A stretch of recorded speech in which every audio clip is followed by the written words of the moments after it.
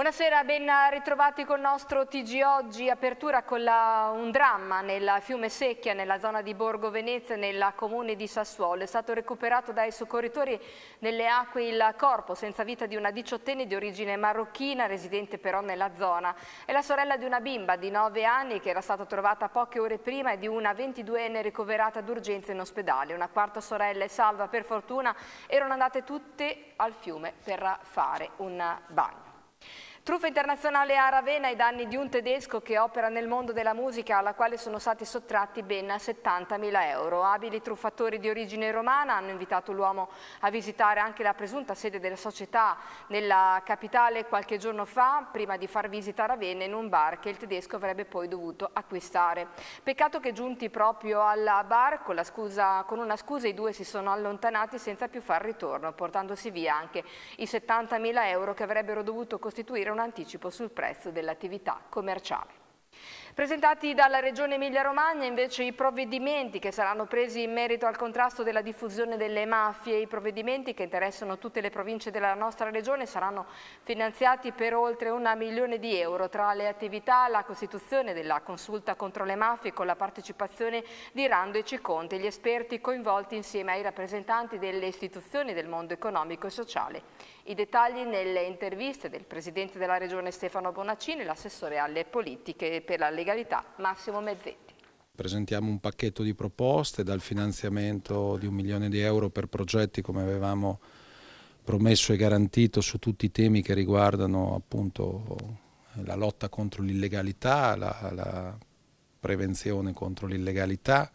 la diffusione di una cultura per la legalità e il rispetto delle regole. Abbiamo detto che la lotta alle mafie e all'illegalità sarà uno dei pilastri dell'azione di governo di questi anni l'istituzione della consulta che avevamo indicato e scritto nel programma che sarebbe stata istituita dopo pochi mesi che saremmo entrati in carica e quindi questo è un altro impegno che avevamo promesso e che manteniamo. Eh, la richiesta che ha accettato all'avvocato Enzarando, conosciutissima soprattutto per gli impegni eh, come dire che la, sua, la spesa personale e professionale in questi anni nel contrasto alle mafie che, eh, della, quale, della cui professionalità mi avvarrò anche per arrivare all'inizio del prossimo anno a scrivere il testo unico eh, leggi, della legge appunto contro le mafie per la legalità Insomma, una serie di provvedimenti che, che, che, abbiamo presentato che vanno nella direzione, come avevamo detto, di dare un segnale ben preciso e d'altra parte, se ricordate, nel patto per il lavoro che abbiamo sottoscritto con tutte le parti sociali, eh, una delle, diciamo così, delle, appendici dei capitoli che lo, lo completano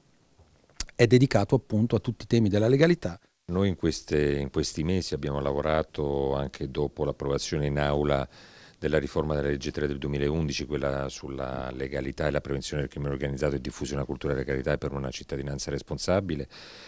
Abbiamo lavorato ad un pacchetto di, di interventi, eh, fra questi c'è l'istituzione della consulta per la legalità del crimine organizzato in Emilia Romagna, abbiamo deliberato in giunta la sua composizione e la sua formazione, all'inizio di settembre convo la convocheremo in prima seduta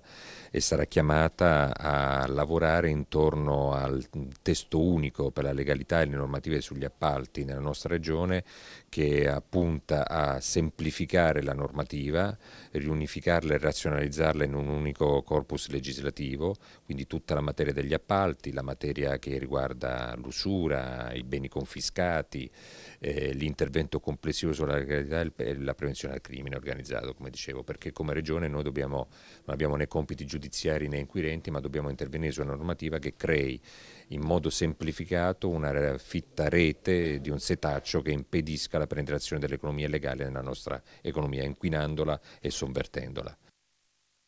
E ora, come di consueto, apriamo la pagina dedicata all'estate via la sigla della TG Estate.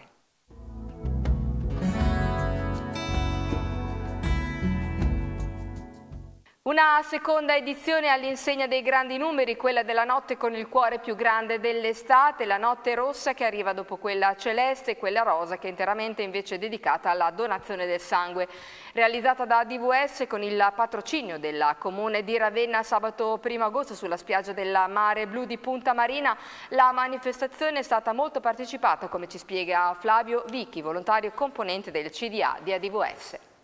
Questa sera è la seconda edizione, anno 2015, della Notte Rossa, una serata interamente dedicata alla donazione di sangue organizzata da DVS, i donatori di sangue dell'ospedale di Ravenna. Un modo per avvicinare la gente a questo gesto salvavita. In estate c'è sempre bisogno di sangue, ancora di più a causa delle vacanze estive e a causa del grande caldo che c'è durante l'estate le donazioni purtroppo diminuiscono, mentre aumenta da parte del Servizio Sanitario Nazionale la richiesta di sangue ed emoderivati. E tutti i giorni la cronaca ci parla di incidenti stradali, gli incidenti stradali richiedono emotrasfusioni, le patologie croniche a loro volta richiedono emotrasfusioni durante tutto l'arco dell'anno, quindi soprattutto d'estate è importante venire a donare il sangue. Questa sera è una serata di divertimento qui a Punta Marina Terme, eh, tanta bella gente, il meteo ci sta aiutando per fortuna eh, abbiamo tanti spettacoli, abbiamo organizzato una serata per le famiglie, per i bambini, per i ragazzi, alle 11 avremo lo spettacolo finale di fuochi d'artificio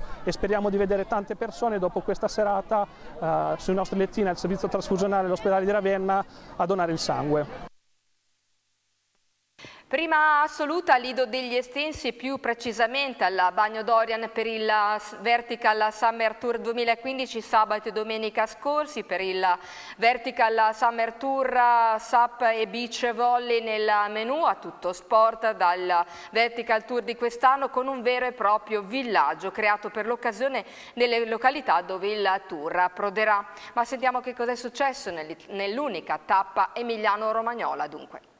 Il Vertical Summer Tour è un evento sulle spiagge che unisce animazione, giochi, sport, un evento itinerante in otto tappe partito due settimane fa da Follonica che si concluderà a fine agosto nella città di Catania. Cercheremo di portare tanta animazione, tanto sport, uh, quindi tornei di beach volley, tornei di calcio balilla, porteremo questa nuova disciplina uh, che arriva direttamente dalle Hawaii che è il SUP uh, viene praticata praticamente con una tavola da surf stando in piedi con la pagaia quindi veramente tante attività aperte a tutti, ai più giovani, ai più diciamo datati, comunque proprio per tutte le età. E l'idea del Vertical Tour in generale è nata otto anni fa sulle montagne, quindi da qui il nome Vertical Tour. Eh, poi la normale prosecuzione dalle montagne si è passati sulle spiagge eh, e quindi giustamente eh, abbiamo cercato di portare dei contenuti nuovi, eh, delle, delle, attività diverse per far divertire le persone, per fargli passare due giorni un pochettino diversi eh, sulle, sulle spiagge, oltre che prendere normalmente solo il sole. Ci siamo divertiti tanto, si sono provate anche nuove attività, proprio anche in mare e dei grandi tornei e anche quasi dal quindicenne fino al settantenne tutti si sono divertiti ed è rimasto un grande ricordo con queste attività. Il bello è stato vedere queste persone rilassate che magari leggevano un libro o che guardavano così il tablet, subito alzarsi in piedi, incuriosirsi e voler provare subito le attività, stancandosi quasi come a lavorare, ma alla fine hanno gradito, alla fine erano gioiosamente stanchi e anzi hanno richiesto che è una cosa che deve avvenire nuovamente, la, la, la vogliono ripetere, anzi prendere spunto per poi fare anche noi delle attività in futuro, anche tutti i sabati e le domeniche, perché il riscontro è stato veramente altissimo da parte di tutti. Noi abbiamo sempre creduto nell'attività sportiva al mare come sistema di vacanza, come modo di fare e di vivere, perché abbiamo racchettoni, il campo eh, da beach, il calcetto su sabbia, il canestro, la piscina con possibilità anche di corsi di nuoto e quindi di nuotare, acqua gym, zumba, quindi l'attività sportiva quasi agonistica per noi è diventata determinante come proposta per la nostra clientela. Sei barman di fama internazionale, due fuoriclasse enologici dell'Emilia Romagna come Lambrusco e Pignoletto, un palcoscenico come Milano Marittima, simbolo della Riviera Romagnola e tanta frutta a chilometri zero da bere e da mangiare. È l'originale cocktail di Milano Marittima International Bar Tender, il primo contest realizzato dal Comune di Cervia con la promozione di APT Servizi Emilia Romagna che animerà nel tardo pomeriggio di domani la rotonda primo maggio di Milano Marittima. Ce ne parla la assessore alla turismo e cultura del Comune di Cervia, Roberta Penso. Domani sera dalle 18.30 alle 24 la rotonda Primo Maggio in Marittima si trasformerà nel più grande open bar d'Italia. All'interno di esso prenderanno parte questi sei grandi barman internazionali che si sfideranno e diciamo attorno a loro si schiereranno anche 11 nostre realtà, realtà molto diverse fra di loro che hanno deciso di scendere in campo proprio per uh, partecipare a questa puntata pilota di questo evento veramente molto molto innovativo. È un evento innovativo perché prevede che all'interno di questi miscelati di qualità, all'interno di questa mission del bere consapevole, vengano usati degli ingredienti particolari come il lambrusco e il pignoletto quindi usciamo fuori diciamo, da delle bollicine canoniche e l'utilizzo della frutta, frutta a chilometri zero, tant'è che avremo anche cinque produttori che venderanno frutta e forniranno la frutta proprio a questi barman. Bere consapevole, bere con qualità e ammirare anche la professionalità di questi bartender, quindi dei miscelati che vengono concepiti veramente con delle tecniche e quindi uscirà anche fuori diciamo, il cocktail dell'estate 2015. Prima di passare alla prossima rubrica vogliamo ricordare che con l'inaugurazione di domani mattina da parte del Presidente Stefano Bonaccini della Piazzetta parte l'avventura dell'Emilia Romagna all'Expo di Milano 2015. I dettagli del calendario di questo spazio che fino al 31 ottobre sarà animato dal sistema regionale emiliano-romagnolo, dai suoi territori e dai suoi prodotti sono sul sito di Expo nella portale della Regione. L'appuntamento di domani si potrà seguire anche in diretta su Twitter. E ora noi passiamo alla consueta rubrica dedicata ai lidi ravennati in compagnia di Coppa Spiagge Ravenna.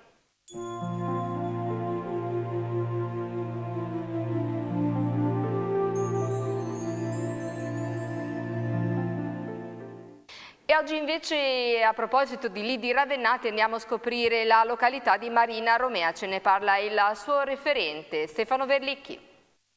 Riteniamo di avere una località abbastanza all'avanguardia per quanto riguarda eh, tutti gli stabilimenti balneari, offriamo una grande varietà di intrattenimenti, eh, per cui insomma, siamo un lido che attrae per lo più famiglie e giovani, insomma, siamo contenti della stagione siamo stati assistiti dal tempo per cui siamo molto contenti. Per quanto riguarda i nostri stabilimenti balneari sono rivolti per lo più ai giovani e alle famiglie, alle famiglie perché comunque è una località molto tranquilla, per lo più di seconde case. E per quanto riguarda i giovani offriamo grazie all'ampio arenile la possibilità di installare campi da racchettoni, beach volley, calcetti, campi da basket per cui abbiamo una, una, grossa gamma di attività sportive che si possono fare in spiaggia. Tutti gli stabilimenti balneari offrono un loro calendario di iniziative che varia da, so, da, dalla notte dei cartoni animati in spiaggia che noi proporremo il 10 agosto ai vari magari tornei che ci possono essere di, di, di calcetto, insomma una grossa gamma di eventi. In più abbiamo la possibilità con eh, l'ampia pineta di utilizzarla per passeggiate, giri in mountain bike e poi abbiamo la Piallassa dove eh, si possono fare uscite anche in canoa, delle escursioni, per cui insomma c'è una, una, grossa gamma di attività che si possono fare durante il giorno. Eh, la sera è una località abbastanza tranquilla, ci sono i piano bar e delle situazioni molto tranquille, chiaramente siamo lontani dal, so, da, da Rimini, dalle discoteche, però insomma se uno poi vuole ci può arrivare tranquillamente. Da una rubrica estiva all'altra spostiamoci a Cervia Milano Marittima dove grande protagonista è il libro della rassegna Cervia, la spiaggia a libro, sigla.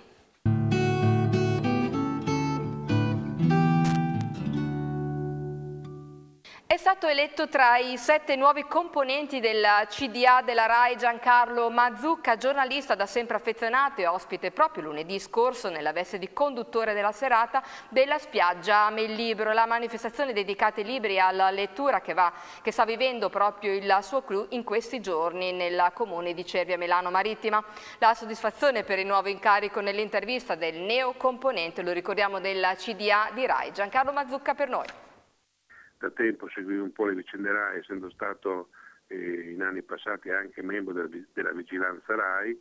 E quando ero nella vigilanza RAI mi ero accorto che eh, la vigilanza RAI era soltanto una funzione notarile, occorreva per, per, agire entrare nel vertice della RAI, quindi con questo incarico spero di poter eh, fare qualcosa di concreto, di positivo per il rilancio e la modernizzazione dell'ente radiotelevisivo pubblico sono anche contento appunto perché eh, così manderemo anche un po' in televisione Cervia Milano Marittima e, i libri di Cervia. Ma detto questo, sì, io rimango un grande amico di Milano Marittima e Cervia e, e i libri, eh, la serie dei libri di ogni anno, di ogni estate è veramente un po' un fiore all'occhiello di questa spiaggia, per cui eh, senz'altro ci tengo a essere un fedele eh, da almeno 15 anni ogni anno partecipo alla vostra rassegna, alla rassegna di Celio, quindi a maggior ragione eh, cercherò di essere presente anche quest'anno e anche nei prossimi anni. Ho presentato questo libro, mi sta dando delle grandi soddisfazioni perché eh, vedo che il personaggio Montanelli, che è stato il mio direttore, la voce prima al giornale, è più che mai presente, è più che mai non soltanto monumento ma un simbolo per il mondo della carta stampata e non solo, anche della televisione. E oggi è martedì, dunque intervista telefonica dedicata al trebimeteo.com, vediamo che cosa ci attende in, questo, in questa settimana. Ci attende una settimana di caldo bollente su buona parte eh, delle nostre regioni per la presenza dell'alta pressione nordafricana, quindi una situazione eh, molto simile, anzi uguale al mese di luglio, eh, tanto sole eh, non solo lungo le coste ma anche in pianura, saranno solamente isolati i temporali eh, sui rilievi, le temperature saranno in ulteriore aumento nei prossimi giorni, potremmo eh, raggiungere diffusamente punte di 35-36 gradi in Valpadana, ma non sono escluse perfino in Emilia Romagna punte anche di 37, localmente 38 gradi dagli ultimi aggiornamenti dei modelli la situazione, eh, seppur andrà eh, confermata nei prossimi giorni, vede tra sabato e domenica delle infiltrazioni un po' più fresche eh, dalla Francia, quindi atlantiche, che potrebbero dar luogo a qualche temporale non solo sull'arco alpino e sull'Appennino, ma localmente scendere anche sulle pianure di nord-ovest e l'Emilia. Quindi forse qualche temporale rifrigerante nel, nel corso del weekend. Comunque sarà una situazione che andrà eh, rivista nei prossimi giorni. Dopo l'esauriente panorama della settimana per quanto riguarda il meteo a cura di trebimeteo.com, noi passiamo invece alle previsioni del meteo per domani.